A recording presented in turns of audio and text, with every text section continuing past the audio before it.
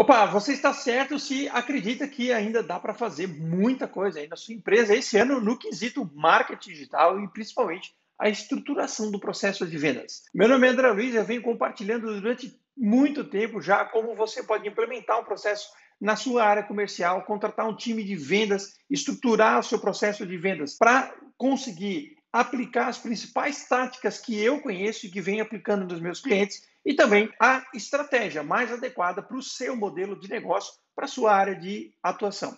O que eu vou apresentar para você aqui nesse, nesse vídeo aqui é um momento né, de uma parte de uma live que eu fiz no último Desafio Venda de Software, que é o meu módulo gratuito do programa Venda de Software na Prática, que é um programa de aceleração comercial para empresários de TI. Assista essa parte desse vídeo, depois comenta aqui embaixo o que você achou, porque nele eu estou colocando o que eu percebi desde março, quando começou né, essa crise estabelecida pelo Covid-19 aqui no nosso no, no, mundo inteiro, mas principalmente no setor de software. Então eu espero que você goste dessa parte desse vídeo, porque tem muito mais conteúdo vindo por aí. Vamos lá. Eu queria dar uma visão de mercado aqui para vocês.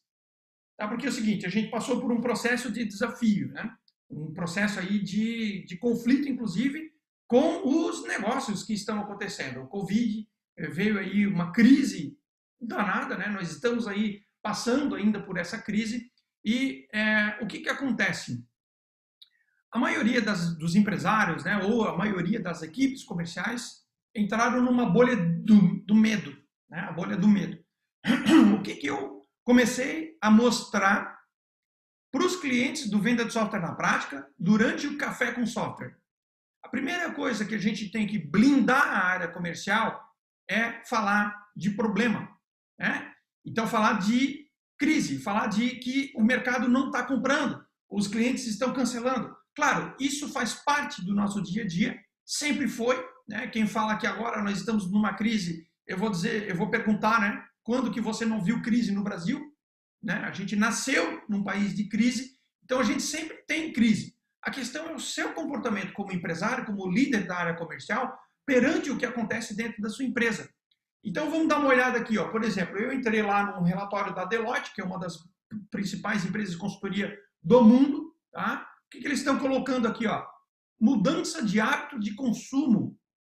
E aí, o que, que nós temos aqui? Se existe crise e existe uma nova realidade, o que, que está acontecendo com o mercado? A gente tem que olhar dessa crise, dos pontos fracos, pontos fortes, a gente tem que trazer o quê? Uma oportunidade.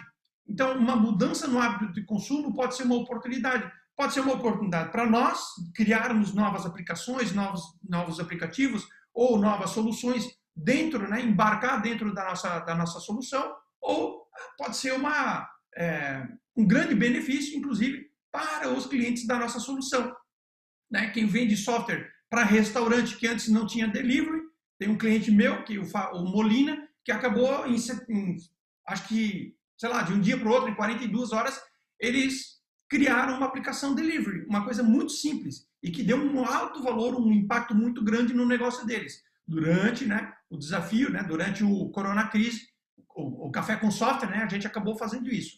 Então, olha aqui, ó, isso aqui é uma oportunidade. Nós temos uma oportunidade na frente. Vamos lá. De novo, aqui uma outra notícia. Vendas online e delivery são nova realidade para 69%, 69 das empresas. E o que é isso aqui? Isso aqui é uma oportunidade. A gente tem que olhar para o que está acontecendo e dar atenção mais para aquilo que são coisas positivas e fazer isso fazer parte da nossa área comercial. Não só coisas negativas. Eu chegaria ao ponto até de dizer para vocês que um dia, talvez até no primeiro dia do, do, do, último, do último desafio venda de software, primeiro dia do nosso encontro online né, com os clientes, alguém falou lá de, de crise, de que estava difícil. Eu falei: opa, peraí, aqui dentro a gente só vai falar de oportunidade. Aqui dentro é energia positiva. Eu quero mostrar para vocês que existe um caminho diferente desse que a gente está seguindo. Então, quer assistir Globo? Beleza, vai lá, assiste. Eu não tenho nada contra esse canal, aliás, um monte de coisa, mas eu não vou falar aqui. Agora, cara, dá atenção para as oportunidades de mercado. A Century, uma outra empresa globalmente conhecida, olha o que, ela está colocando. De novo, reforçando novos hábitos de consumo. E é ali que estão as oportunidades. 24% das empresas estão aumentando é, estão planejando fazer compra online dos consumidores brasileiros. 77% deixam de utilizar né, significativamente o uso de dinheiro em espécie. 69% afirmam que o Covid incentivou o uso de meios de pagamento é, por aproximação. Entendeu? Então, quem investe aqui está olhando para oportunidades de mercado. Olha lá, ó, o Rank My App, tá? Softwares de delivery teve um aumento no ranking de avaliação gigantesco aqui, ó. E olha só os elogios. A boa experiência que esses aplicativos estão levando para os novos usuários. O que, que é isso aqui? Pô, mas então eu vou sair desenvolvendo software para aplicativo, é, para delivery? Cara, pode ser, depende do teu mercado. Agora é o seguinte, esses usuários que estão tendo a primeira experiência com software de aplicativo, ou só aplicativos de compra, já estão tendo uma boa experiência. Então, tudo que você pode desenvolver como aplicativo, está vindo uma demanda positiva aí para a gente trabalhar, entendeu? Então, eu quero que você pense de uma forma mais ampla do seu negócio. Dá para explorar novas oportunidades, mesmo na pandemia, mesmo na crise. Então, não fica fechado só na sua solução. Tenta explorar novas alternativas, tá?